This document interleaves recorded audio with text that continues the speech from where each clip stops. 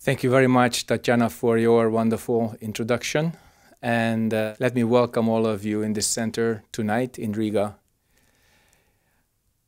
The real question is what can we learn as 8 billion human beings? Not as an individual, not as a family, not even as a nation or society, but what is it that 8 billion of us can learn soon enough?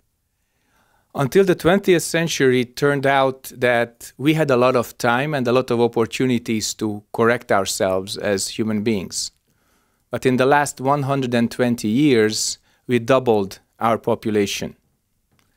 And we tripled or quadrupled our mistakes. So it turns out that all the efforts made by the great teachers of the last 3,000 years, they come to test now. It seems that we are running out of time, resources, and space. And most of all, we are running out of human qualities that we really need. The question is, how can we help? The question is, is there a new and quick remedy to all of our problems? And the answer is the remedy has always been the same. We have just failed to apply it. So, knowing ourselves better, turning our energy inside, clearing our minds, that has been there as an option for thousands of years under various names, religions, practices. We've just never done that sufficiently enough. Throughout thousands of years, people have been waiting for the miracle the ultimate miracle that would solve all the problems. That miracle has never come. Similarly, we have tried to uncover the ultimate secret. Many small secrets were uncovered, but there is no big secret that could save us. And finally, we were looking for the ultimate authority, whether up or down or even below, that can take our responsibility as well as our freedom so that we would not have to make so many bad decisions. But it turns out that this miracle, secret, and authority, they do not exist in the way we want them. In fact, they do not exist at all. Instead, we would really have to know ourselves better and clear our minds to a higher quality, better clarity. And that is never too late to begin.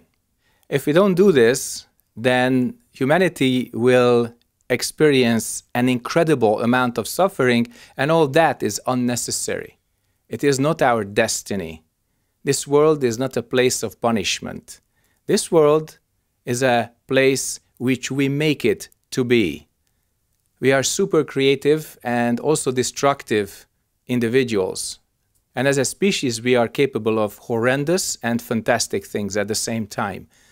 It is always our choice it has always been our choice, and it will always be our choice. But sometimes we fail to see that. So that not seeing is avidya. This not seeing is the root of greed, anger, and ignorance. And the path to enlightenment means that we ask the right question so that we would get the right answers.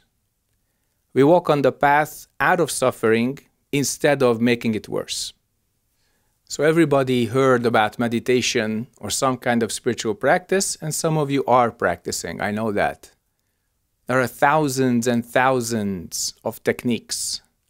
But the number one, the primary technique, is that you are courageous enough to see. You are brave enough to look inside. And you accept the results as firsthand, but you are ready to change them. If you are not ready to change yourself, you cannot change the world.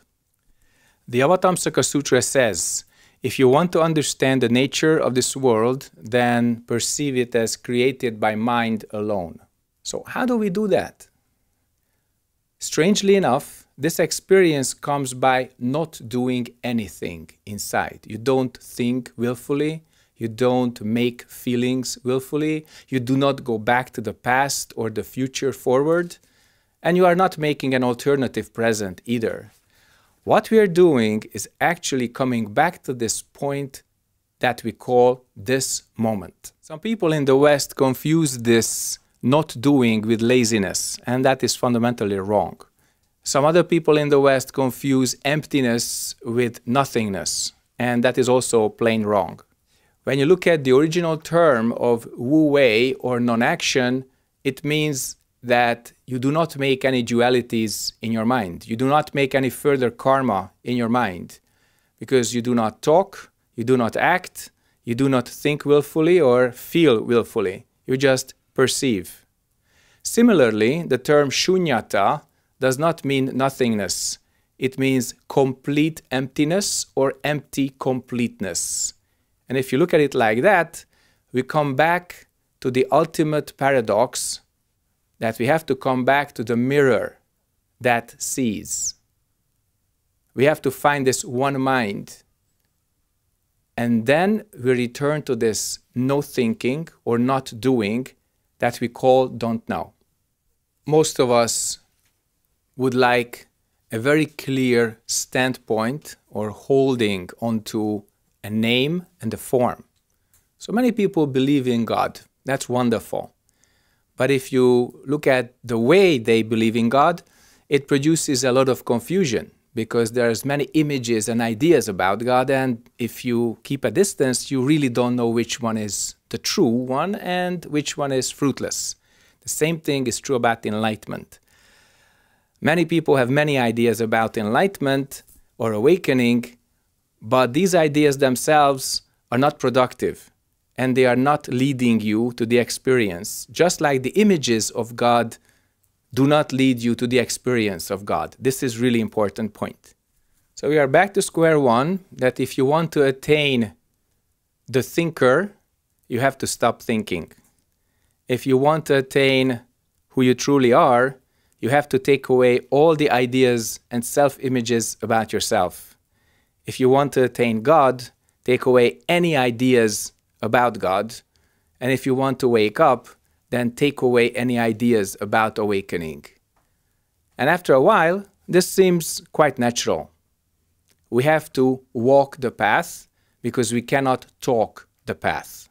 You may say this sounds very nice as some philosophy or spiritual discipline. What do I get out of this? Well, what you get out of this is clarity a mind which is clear like space, clear like a mirror. In this mind, you can see your karma, you can see your choices, and you can make better decisions because if you see the outcome or steps, many, many steps of many outcomes, then you will be better informed about the consequences of your speech, action, thoughts, and feelings. So we are back to the original teaching of Buddha Shakyamuni himself, who talked about suffering, the cause of suffering, the end of suffering, and the way to end suffering. It's the Four Noble Truths. And to apply them, you really need clarity. If you don't have that, you don't even see the fact of suffering. The Buddha talks about human beings who are attached to this body and identify with their karma as children playing in the burning house. They don't know about it. And now, 8 billion of us, we don't seem to know about it. We don't seem to perceive that we are running out of time. We don't seem to perceive that we do not have to suffer and make each other suffer. We can see the cause, we can see the end, and we can walk the path to end this suffering. This is why the original teaching does not talk about love, happiness, fulfillment, welfare right away. We all want that. Human beings are really predictable. We are looking for all these values that I have just mentioned, and we want to avoid war, poverty, enmity, hatred, etc., etc., etc. But until we have cleared the house, we cannot do it. Why did you hear this original teaching from Jesus himself that new wine has to go into new barrels? Because if we don't clear ourselves of our previous karma, we can never attain these high human qualities that I have just mentioned and all teachers mention in their own way. So we have to do the hard work of cleaning the house and then put the new furniture inside. So I think uh, this was enough for introductory, and I'll be very happy and honored to receive your questions and try to answer them. So, who has any questions, ladies and gentlemen? Uh, what do you mean by saying that uh, we are running of time, that we have little time left? If you look at just our known history of the last, let's say, 2,500, 3,000 years, we've had many empires. We've had the Assyrian Empire, the Persian Empire, the Roman Empire, the Greek Empire, and then the Habsburg Empire, and lately you can see what big countries are doing. What is interesting that these empires were coming and going, rising and falling, but none of them exhausted the resources of Mother Earth as we have done in the 20th century and as we keep continuing that in the 21st century. So largely until like 1960, 1980, we did not even have a concept of wrecking our environment and destroying this earth. Now, this imperial appearance and disappearance became so big, so damaging, so consuming, so greedy, so angry that the very environment which we used to renew ourselves and get the next chapter going in our human lives that's in danger. This environment that we used for our living, for our living and dying, for appearing and disappearing, this environment is in grave danger. Okay? And it's not me who says that. Everybody with some knowledge and understanding cause and effect, either scientific or other types or psychological cause and effect, they can confirm. You can do your own research, but it's pouring from every faucet, every channel that something is very wrong. If you don't fix it soon enough, then we will completely finish the chance of renewal at this level. Renewal will be possible, but with way more suffering than before. We can avoid that, and we should avoid that.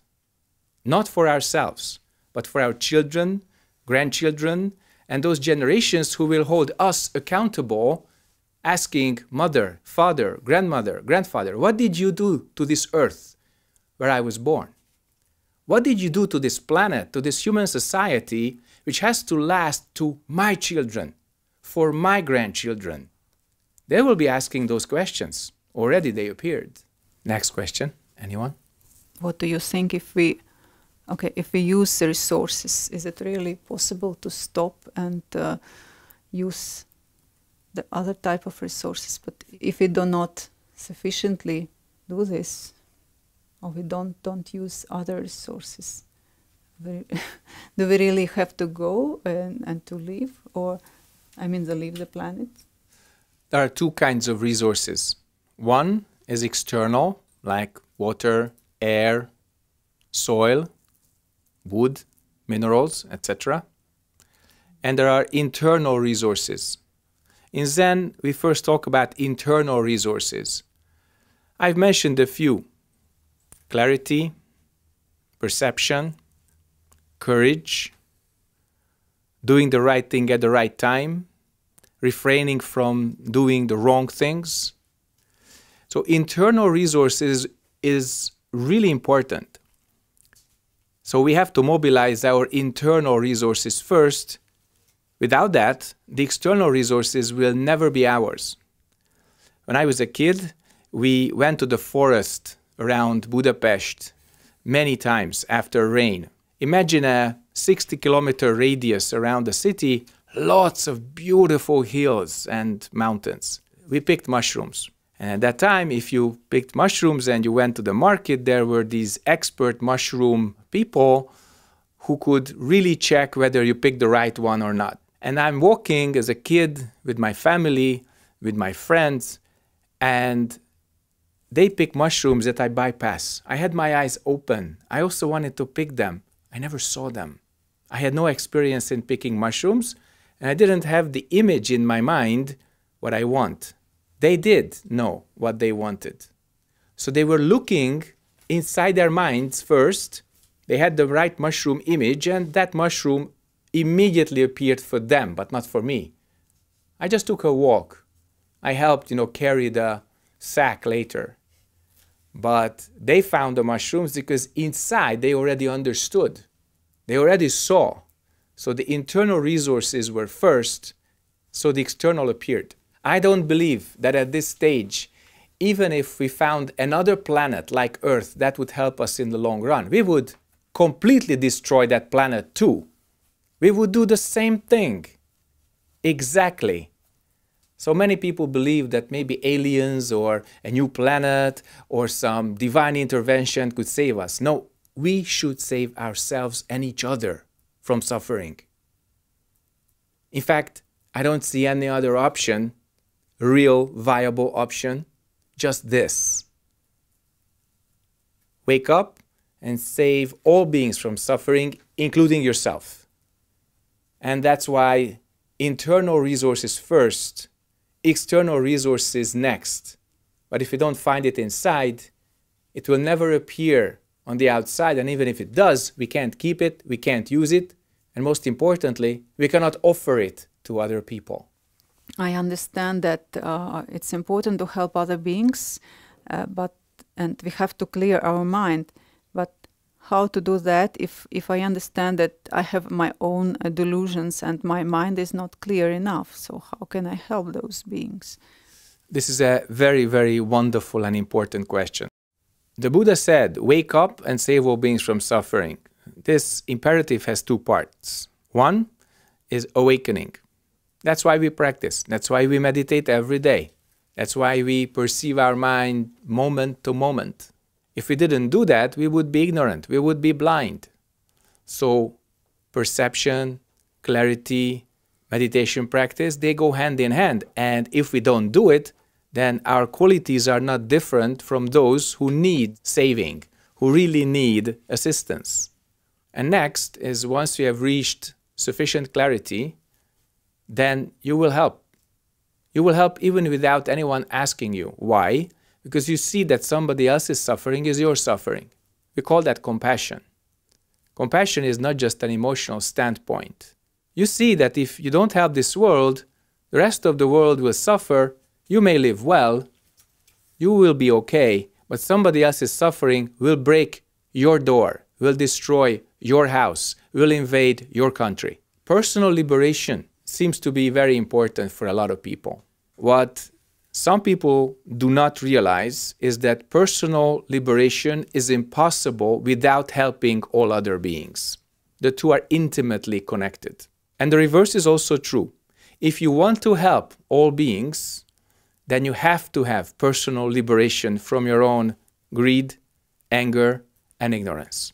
If I have this wish to help uh, my nearest, my, my relatives, my, my kids, but what to do if they resist my help. They they don't they turn their back. They don't want it. How can I help? Is it enough just to do chanting?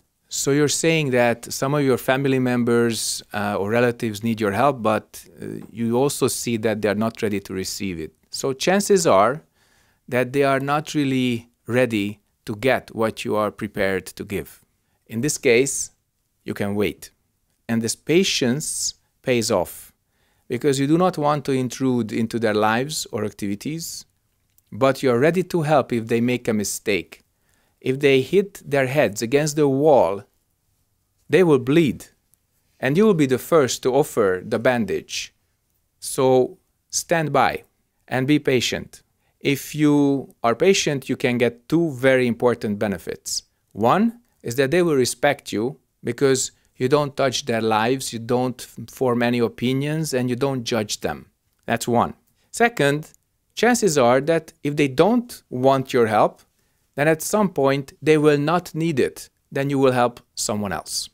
But if they do need your help and they are not ready to take it, then the only way is to wait and watch and stay ready. And when they have made the mistake that you have foreseen but they have not foreseen, they will love and respect you for the help that you are giving them. Before that, they would say, Hands off. Don't touch me. Don't talk to me. don't have any judgment or opinion over me because they are not aware of what you are already aware of. Sometimes we really do not see cause and effect ahead. Some others, they do. But if they interfere too soon, we reject that. So that's why patience pays off because they do not build up a resistance, a defense towards you. Then you are still in the position of trust, and then they will invite you to help when it's necessary. So, continuing this will, willingness to help, for example, our kids, how far should we go uh, with this waiting? And I remember your talk about kids. Uh, they were shown uh, how the car accident can happen if you drive drunk. So what can happen? But if I'm parent, uh, how long can I wait? For example, how far should I go? So the previous answer was about adults or those people who consider themselves adults. Children, especially your children, are a totally different ballgame. You don't want them to damage themselves, injure themselves, or others. When you have children, then you, of course, pull them away from harm's way. And that's clear. But at some point, they need some demonstration which makes them believe you. I remember that uh, over 15 years ago, I was invited to teach at a penitentiary institution that was a jail, the kind of second most serious maximum security facility in the town of Szeged, south of Budapest, like 200k. How the teaching went is another matter, but what I saw at that time got really etched in my mind. As I was going in, depositing all my valuables, mobile phone, you name it, you just had your clothing on yourself and you went in. You get a little beeper. If there's a problem, you can press it and wait for help. But a group of high school students they were coming out of the jail after a demonstration what it means to be locked up for a long time. And their faces, and they were like 15, 16 years old, just showed everything. So, yeah, we have to learn a lot uh, at school, but school trips, excursions, demonstrations of various areas of life, these are really important. So, demonstrate what it means to be convicted and put into jail. I guarantee that those high school kids, unless they were really, really strongly for criminal life in their minds, they would never do that. Their faces reflected the entire experience. It wasn't fear or horror, just this sheer disbelief that such life can exist on earth. And that's what made them totally just blank. Some of them, like little girls, were a little bit crying, boys were kind of losing focus and talking to each other. And it was a really important trip. So imagine that into various areas of life, you would have this demonstration. Like, I would love to take traffic offenders, like violators who are speeding and they get a ticket, to two places, in fact, three. One is a junkyard where you only have cars that were crashed. And you see crashed cars one after the other all of them. And in the picture, you will still have the blood on the chassis, okay? The second is a hospital with the ICU, the intensive care unit, where first responders, they bring the injured. Look at that. See how people are suffering who are either the victims or the perpetrators of these accidents. And then the next is the cemetery, because some people die and whatever remains is just represented by a gravestone, and that's it. In Hungary, some of these roadside graves are the best deterrents because you can see the name of the person who died there. Sometimes you can see the candles on the anniversary. And if you know how the road goes, you see how and why that accident must have happened when people didn't pay attention, when they were not mindful of the conditions and the other vehicles. So demonstration helps. And it, this can go a long way. Like around the same time, I had access to a rehab facility where those drug addicts who became physically clean learned how to live in society again. So the mental cleansing was the leftover task, and that was pretty big. And I taught both places in the penitentiary and in the rehab meditation to look inside and find a better version of yourself.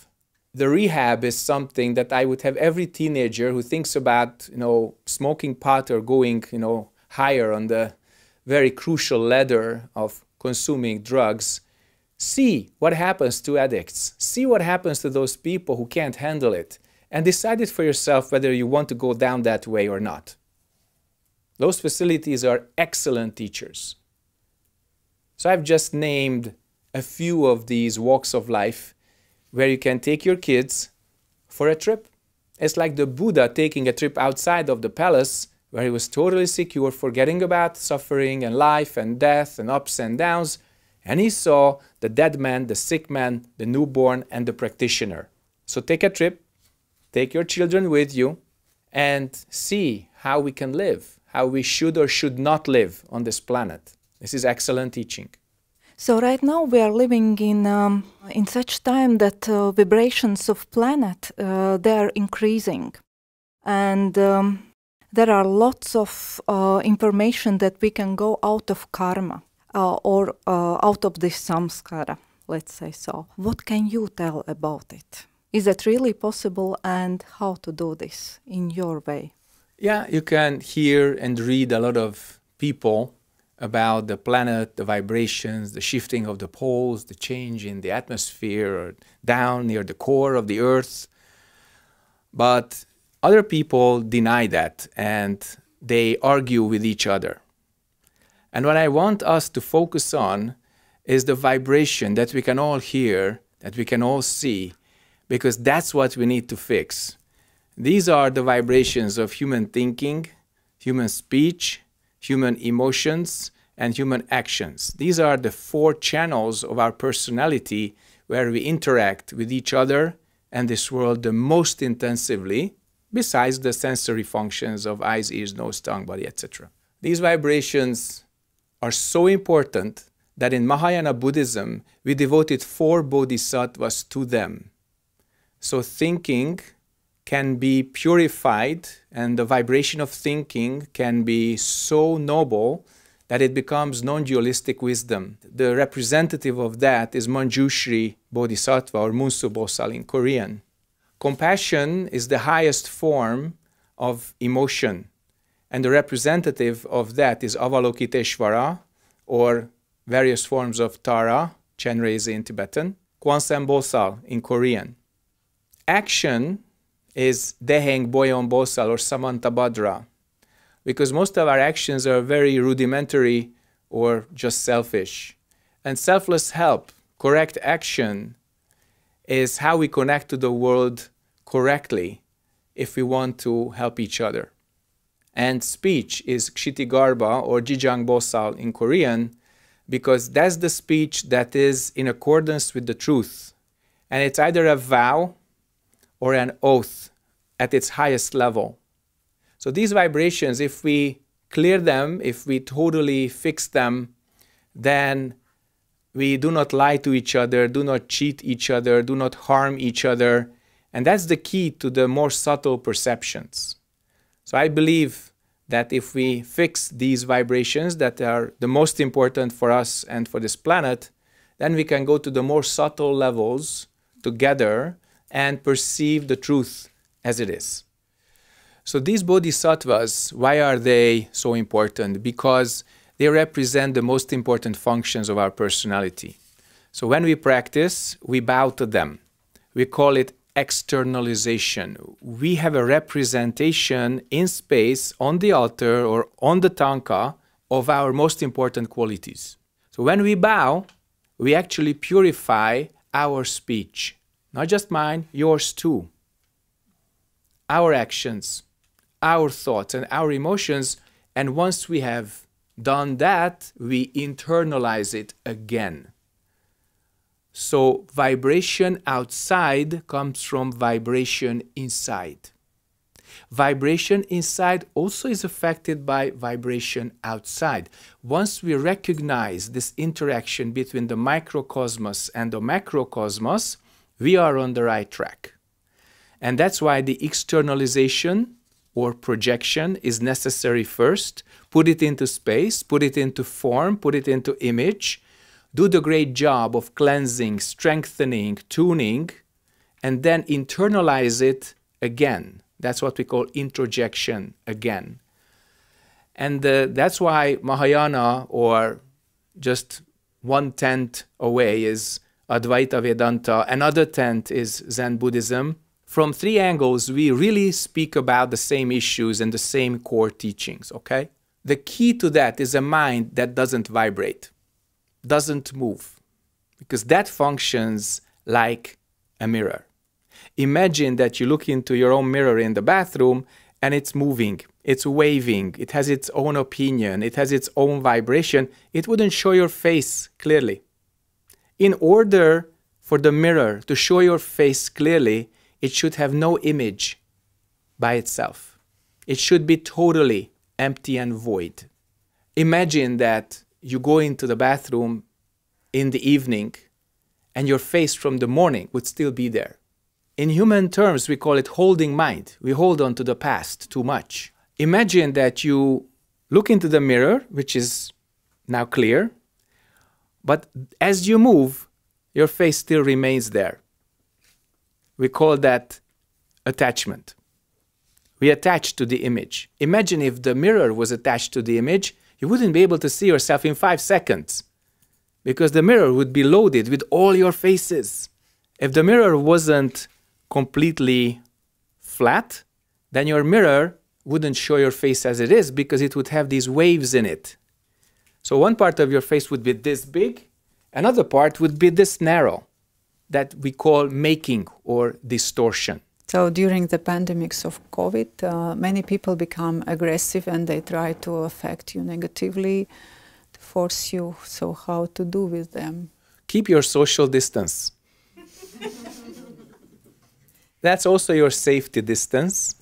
And it teaches those people something that uh, if they cannot reach you with their hands, they also cannot reach you with their minds because their minds are really limited. The more dualistic we are, the more extreme we are, the more anger, greed, and ignorance we carry, the more limited we are. That's the equation. If we return to clarity, selflessness, compassion, wisdom, we walk the middle way. It's very simple. Keep your distance. And inside, don't react to them. Just perceive that space is always bigger than the bad karma in it. That's why you will always have a choice. Avoid them, connect to them. Do not react to anger. Take a step back, find another way. I like to help out people, but I don't want them to take advantage from me not in such a rude way, but still. And I feel sometimes when I help out and doing some volunteering or something like as I think good, it's extremely devastating for me. And I don't know how to, and then I need time to recover a lot. I want to find some some way to help people without such damage to me. How to find it?